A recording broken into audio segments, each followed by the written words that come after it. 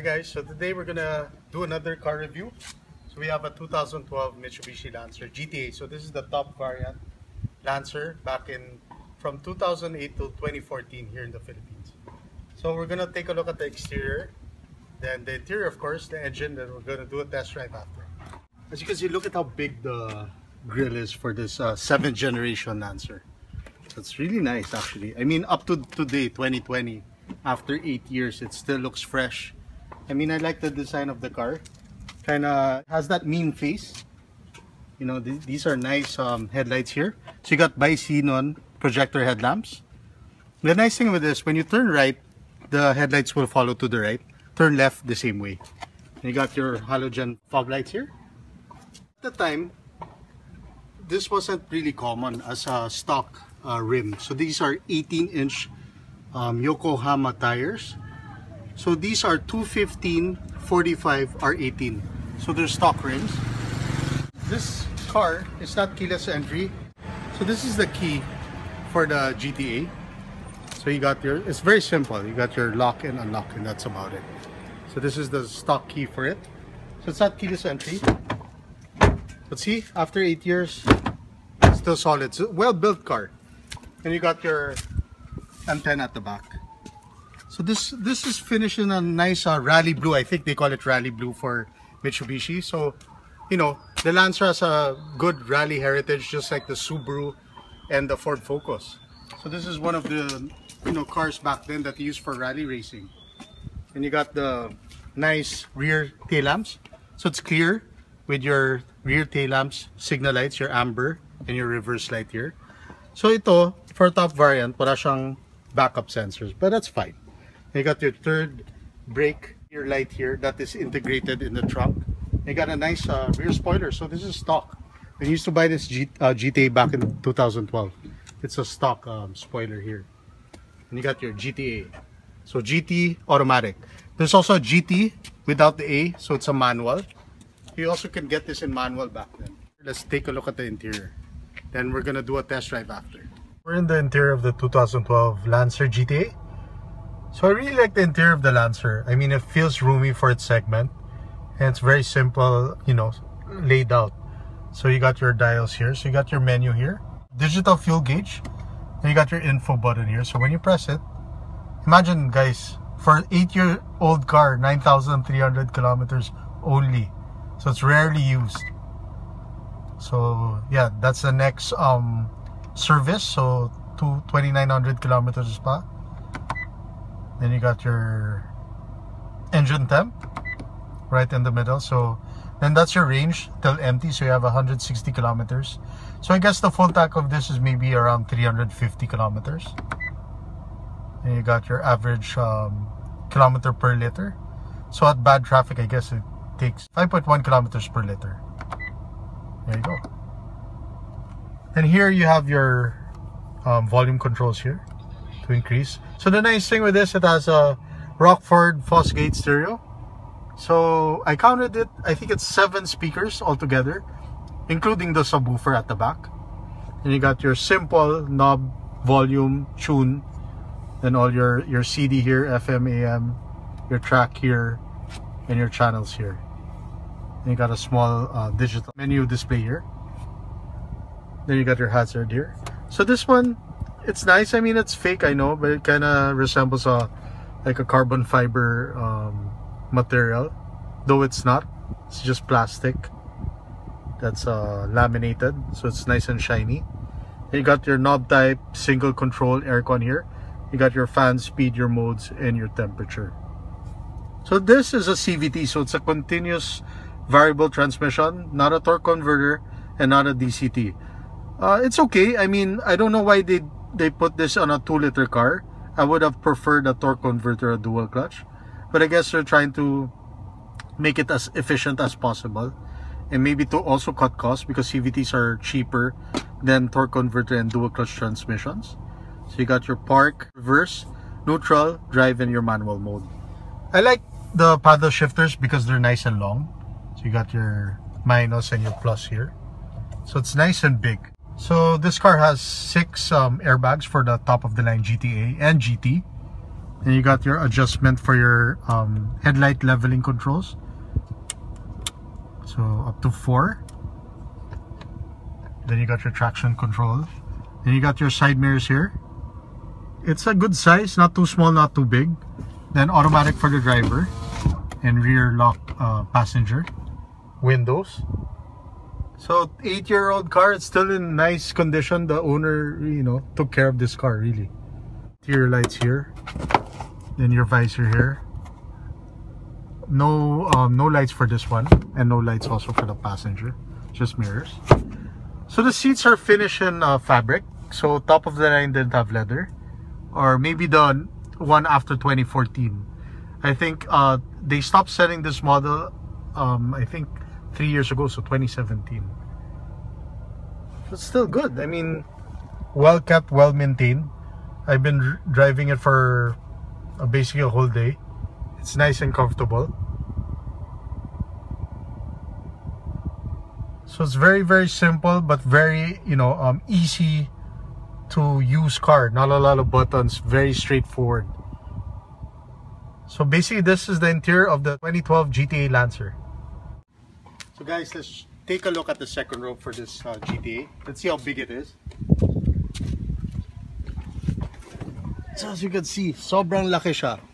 Actually, I can compare this to, you know, I have a Cabri, so I could compare it. It's really big for its segment. If you can compare it to the Focus, the Mazda 3, which is way tighter at the back. This one's very roomy. I'm 5'7", and I have a lot of leg space and a lot of uh, head space. The nice thing with it, it's very comfortable. Sana, there was an aircon vent. But for this segment, wala naman aircon vents normally. But it's nice. You have cup holders here. Then you got your speakers here. And it's finished in fabric, so it's not leather. But it's fine. I mean, the nice thing with this, it feels like a bigger car than it actually is. Let's take a look at the engine for this 2012 GTA. So wala siyang hood shocks. So has a hood stand here. You just put it here. So this guys, this is the same engine that you get in the 7th generation Evolution without the turbo. So this has 155 horsepower and 199 newton meters of torque. mated to a CVT transmission. So it's a CVT, not a torque converter and also not a dual clutch. Um, I guess to save on fuel. So it's a 2 liter 4 cylinder engine. So you get your standard brake reservoir here, your big battery here, your fuse box, your coolant tank your washer, and your power steering fluid. That's your power steering right there. So the nice thing with this car, it's still hydraulic power steering, so it has a good good feel, you know, compared to the electronic power steering that you see in most cars of today. So that's one thing that I miss personally in cars is that hydraulic power steering. So basically this is the engine bay of the 2012 GTA. So guys, let's check the trunk and see how big it is. So this is basically a compact sedan. As you can see, a lot of space. So I have two umbrellas here. I'm gonna stick it inside. So it's nice and deep here. And you got your subwoofer here. There's a lot of stuff that you could fit. You could compare it to a lot of compact uh, SUVs or CUVs now. So it's a good size. So guys, let's do a test drive on this 2012 Lancer GTA. So this is the top of the line Lancer uh, back in um, 2012. So this car was produced kailan ba?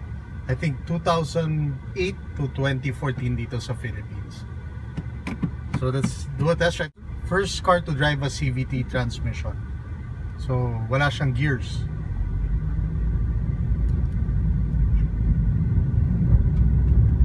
So guys,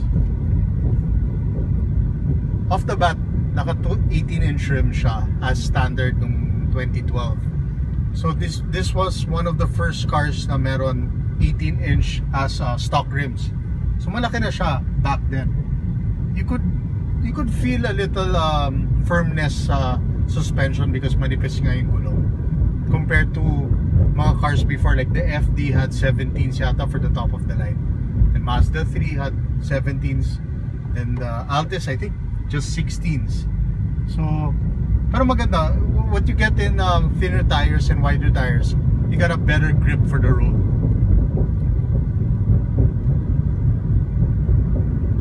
what's nice about it, I think this is the freshest GT in the Philippines. dahil it only has 9,300 kilometers.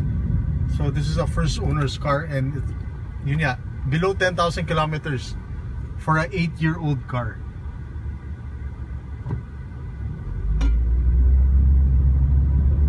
So CVT siya, so there's no gears, run by pulleys and uh, belts lang. So if I press it a little hard, let's see when it shifts. So tuloy-tuloy pa rin siya. You can hardly feel the the shifting. But the nice thing with this, meron kang paddle shifters na malaki. So if I put it to manual mode, and now, you have that sensation of gears. Yan. So now I'm shifting second gear, third gear, fourth. When you press brake, it will go back to first gear automatically. So now I'm in first gear, so full stop. Second gear. So iba talaga yung yung feeling ng CVT compared to a torque converter or a dual clutch transmission.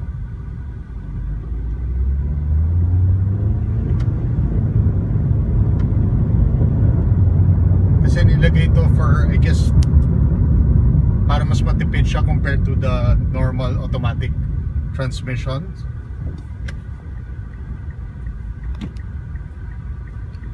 I like, I like the, you know, this is one of those cars compared to the Altis and FD na hindi siya common sa Pilipinas compared to, yun yeah, the Altis, the FD Civic, then you're talking about the Mazda 3, the Ford Focus, um, MK2, MK 2.5. Maybe that's why I like this car kasi it aged very well. Medyo boxy siya, pero maganda yung front niya. Kasi this is the 7th generation, so it's the last Lancer that has been sold in the Philippines. Ito yung pinakahuli. So this is the same engine as the Evo. Pero, of course, the Evo has a turbo. Diba? This one's NA, naturally aspirated. So yan, after the humps, I'll press it. So, yun, 3,000, it just holds 3,000 RPM. Yung tuloy-tuloy lang siya. Yan, then that's the only time it shifts. Pero okay naman yung response ng transmission and engine. The ride is okay once uh, the car hits mga 60 kilometers. Hindi, siya, hindi naman siya matagtag. Tama lang. That's what you expect when you have 18-inch rims. The nice thing, this this car has a Rockford Fosgate uh, stereo system.